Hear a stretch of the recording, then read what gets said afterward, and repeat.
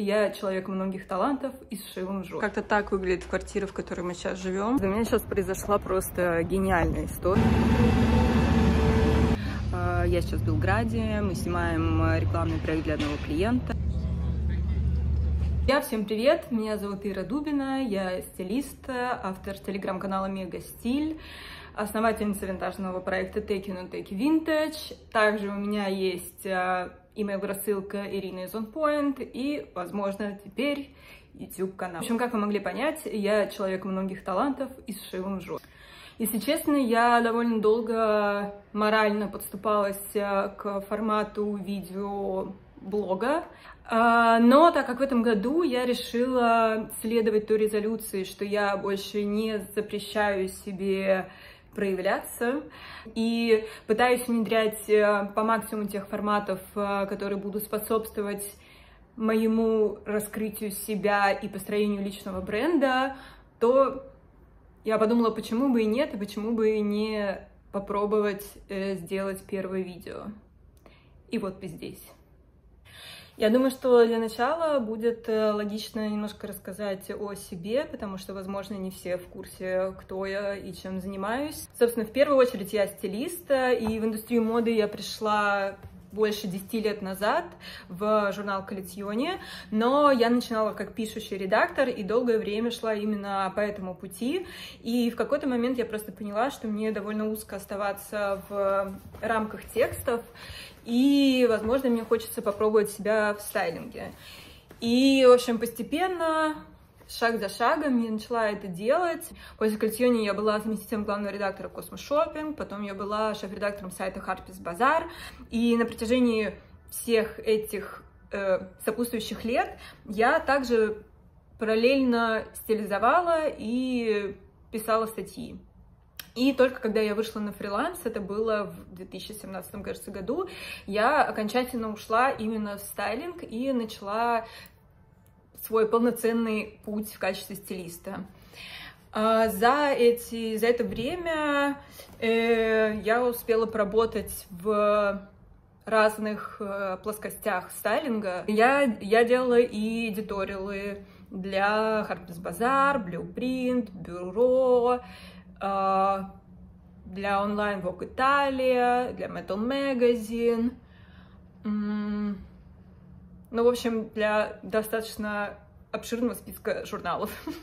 А, также я достаточно много работала на рекламных проектах больших для клиентов типа Сбербанк, МТС, а, Spotify, TikTok. Также я работала как э, стилист на музыкальных видео, э, точечно с селебрити, э, персональный стайлинг тоже есть в моей жизни до сих пор. И один из проектов, к которым я отношусь с особым трепетом, это полнометражный фильм «Экспресс», который вышел на экраны в прошлом году.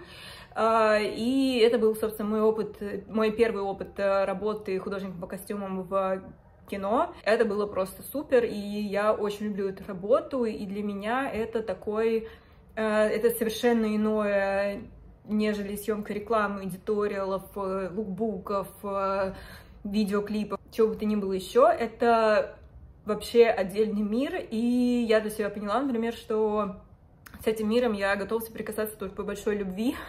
И э, если это действительно классный, стоящий проект с классным режиссером, классной командой и так далее. В общем, э, как стилист э, я работаю в целом во всех направлениях.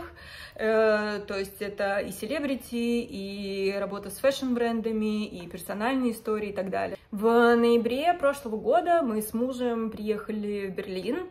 А, чтобы получить документы. С этого момента мы полгода провели в Берлине, а, ожидая непосредственно документов и пытаясь понять, что мы будем делать дальше. И в мае этого года мы поехали в Париж, собственно, где мы и осели сейчас. Я думаю, что в первом влоге мне бы как раз хотелось немножко показать этот парижский быт, который у нас здесь образовался. Сейчас мы живем в Саблете, то есть, э, ну, последнее вообще в целом с ноября, все это время мы живем на Саблетах, то есть мы на какой-то короткий срок, от месяца до трех, э, снимаем, переснимаем чужие квартиры. Это не совсем э, то, что вы можете найти на Airbnb, потому что на Airbnb, очевидно же, сдаются довольно высокой наценкой. Здесь вы просто в частном порядке находите через знакомых или знакомых знакомых человека, который, э, например, уезжает из города на какой-то срок, ему нужно пересдать квартиру, и он пересдает ее зачастую за ту же стоимость, за которую снимает,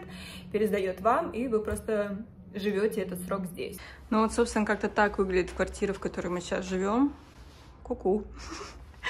А, нам ее пересдал до конца августа Ника, он тоже фотограф, как и Дима, мой муж. И, в общем, после этого мы будем искать э, квартиру уже на более долгий срок. Надеемся, что это получится. Вот такой приятный вид.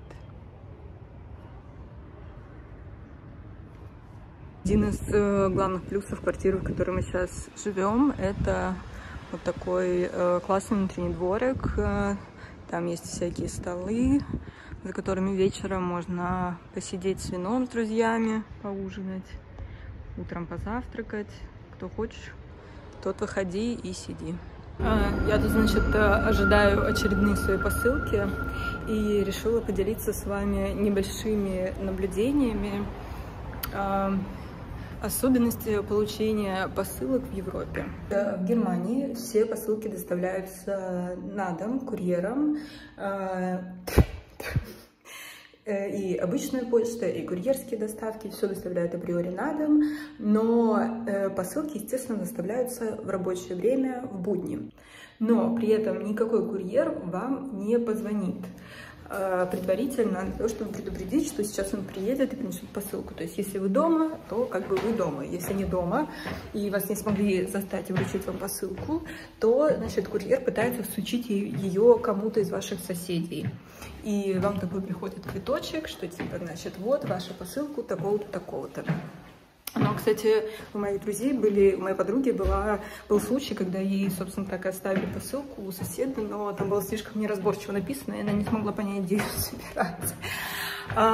Соответственно, если ее не смогли доставить, э, оставить у э, соседей, то ее относят в пункт выдачи, и там ее можете забрать.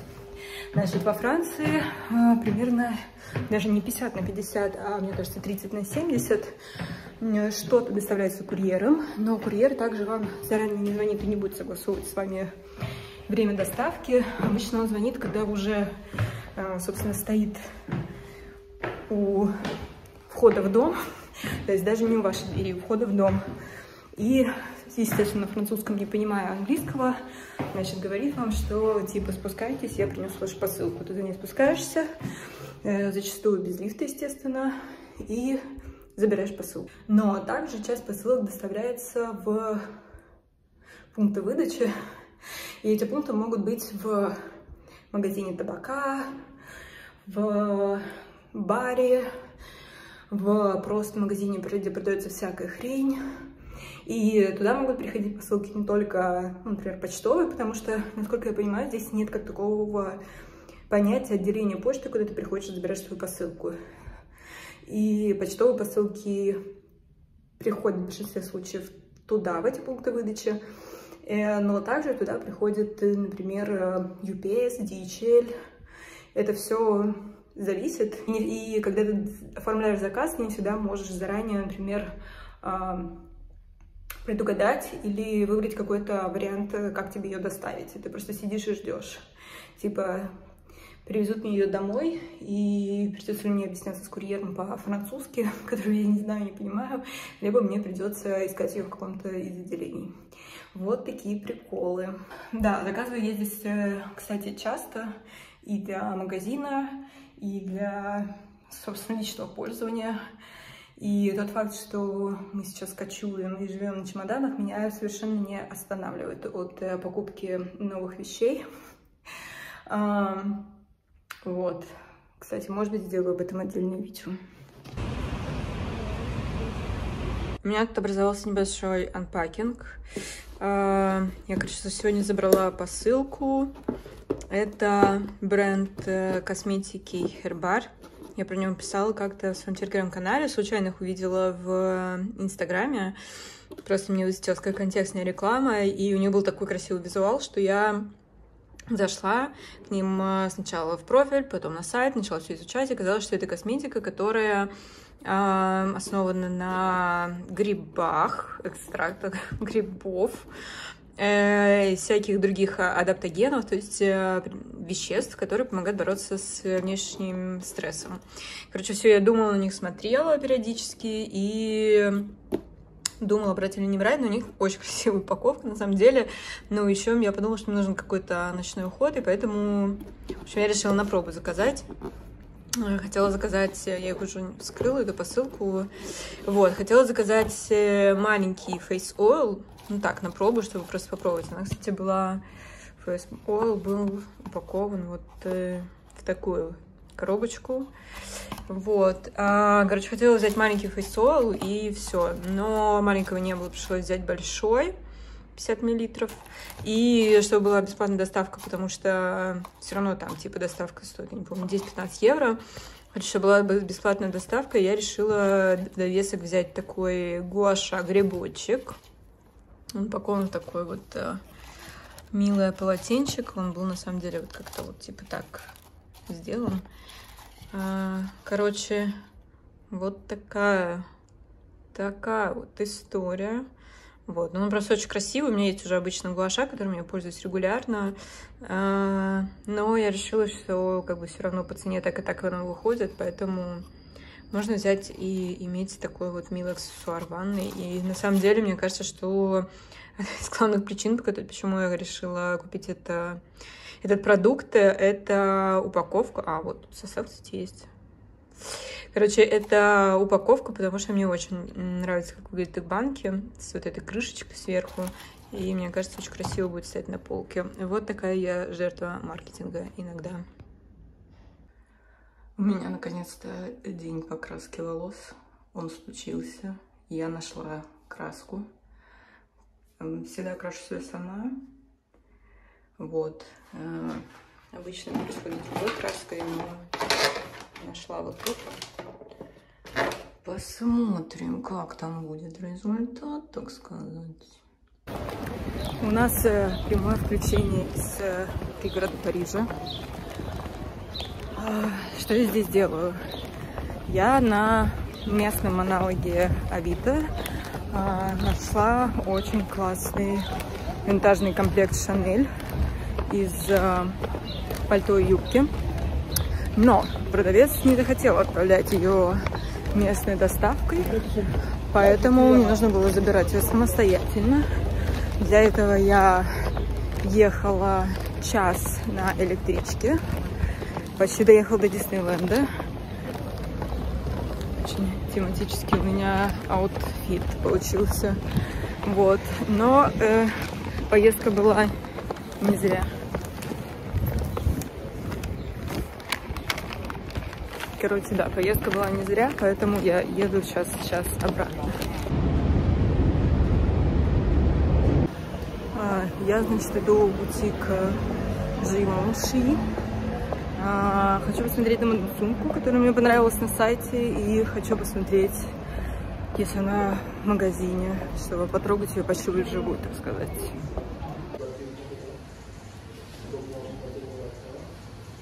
У меня сейчас произошла просто гениальная история. Я пришла в э, бутик Живанши э, померить сумку, которую хотела померить. Ее там не было. Э, я хотела померить ее в дениме. Ее не было, потому что ее сразу, типа, ее выпускают маленькими партиями и сразу раскупают. Но была такая же модель в черной коже. И я, значит, меряю, и ко мне сразу подходит консультант э, и начинает мне там типа, а вот то, а вот все, а мы эту сумку выпустили, а мы ее перевыпустили, типа у нас есть вот такие сумки, а померь то, а померь это. И, короче, я, значит, меряю, и что-то мы с ним болтаем. А, и он в какой-то момент спрашивает, мол, откуда ты? Я говорю, типа, ну, originally from Moscow. И он такой на русском говорит, русская? я учу русский. Я такая, почему? И он говорит, ну, я просто играю на гитаре и очень люблю Виктора Цоя. Я говорю, охренеть, мой муж очень любит Виктора Цоя, like, the biggest fan. Uh, и он такой, да, и у меня вообще куча друзей русских, uh, и у меня бывшая девушка тоже русская, и вот это все, и я так обожаю вашу культуру. И как бы следующие пять минут мы зафолловились с ним в Инстаграме, он uh, сказал, что типа все, я тебя там, значит, познакомлю со всеми, э, интегрирую тебя, значит, в нашу там fashion. Мы тут главный fashion. Мы тут вообще как бы rule the streets, как говорится. Э, вот. В общем, расходились мы уже почти добрыми друзьями. И это, конечно, удивительно заводить такие случайные, неожиданные знакомства в Париже, когда ты просто пришел в магазин померить сумку и даже ее не купил.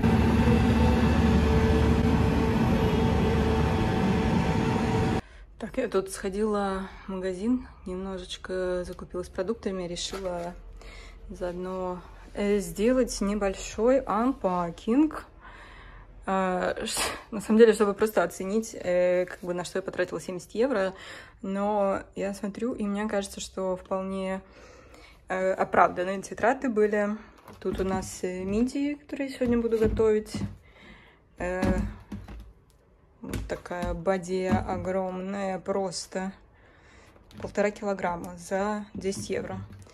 Это классный такой э, лимонад почти без сахара, просто тупо лимон и мята. Э, супер дешевые, за 99 центов томаты. Обычно они стоят, э, мне кажется, 2, 2,50, 3, 3,50. Э, супер вкусная гранола, топовая. Это типа аналог прошута. Тоже очень, э, очень вкусная тема. 2,50 всего стоит одна штучка. Здесь всякие такие темы. Кофе, огромный томат, яички, э, арахисовая паста, соленые лимоны. Э, супер классная тема. Значит, приготовить э, типа соленые лимоны, томаты, красный лук, вот эта вот вся тема и вот он и э, фета. Очень вкусно. Это типа йогурт слышь слышь слэш. Э, слэш мягкий творог больше похож на мягкий творог и поэтому тут написано fromage э, что как бы творог и сыр. Так у нас всякие луки лучки перцы, огромный манго за 2 евро. Такая тема, чтобы салат не надо было резать, все готово. Тут у нас, к слову, энтрогель, энтрогель, энтеросгель. Ну, короче, штука важная и нужная, когда ты живешь в стране, где очень много вкусного вина. Э, Мини-морковки для запекания. Вот такие э, небольшие запасы сыров. Вот это очень вкусный, он такой твердый и оранжевый классная тема. Э, готовая, значит, кура запеченная, когда лень готовить. Вот взяла на пробу такую, типа, паэлья из Ашана, местного Ашана, 800 э, грамм. Мне кажется, я такую буду захода в три есть. Вот такие дела, такие дела.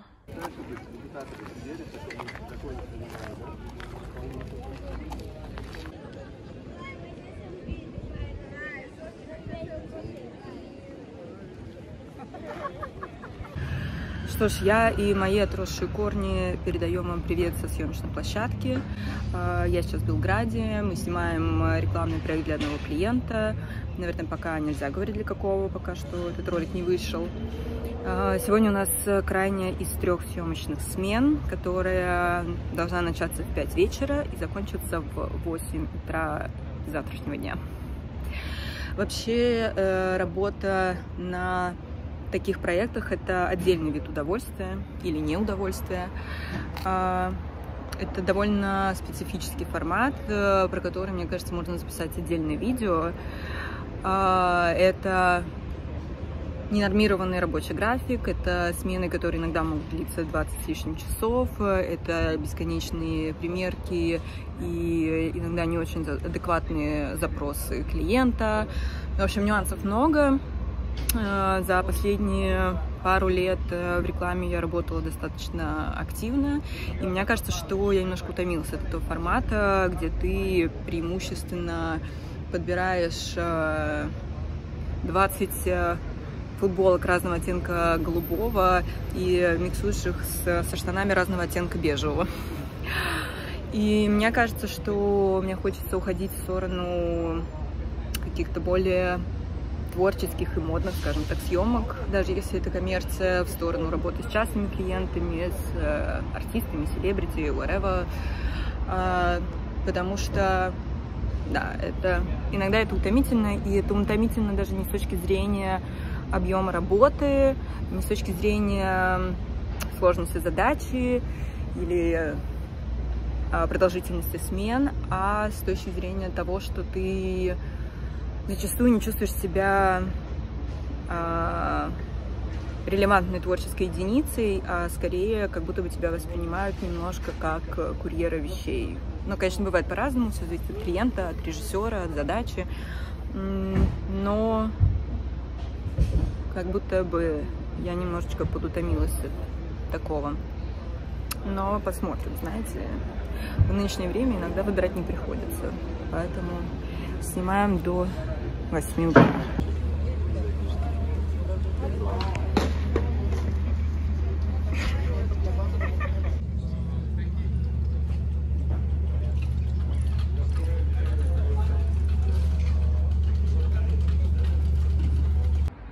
В целом, одно из немногих преимуществ ранних смен в том, что можно застать вот такие рассветы.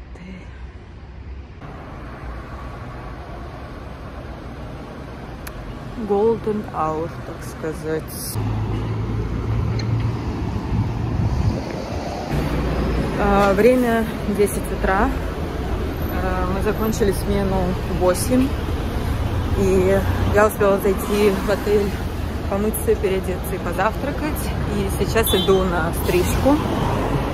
А, перед самолетом обратно в Париж вы спросите, Ира, зачем ты идешь на стрижку в 10 утра, если у тебя смена была до 8?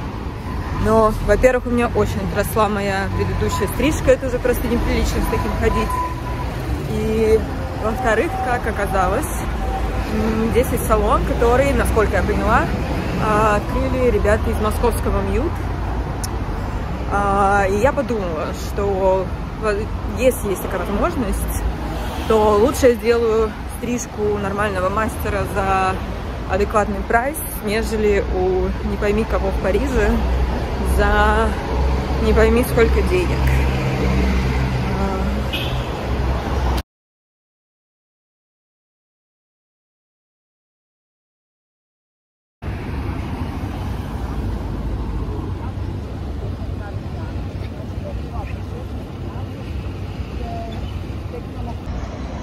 Так, я обновилась. А, сделали такую немножечко класси стрижку. Но мне нравится, мне давно такого не было. Я немножко соскучилась по таким вайбам.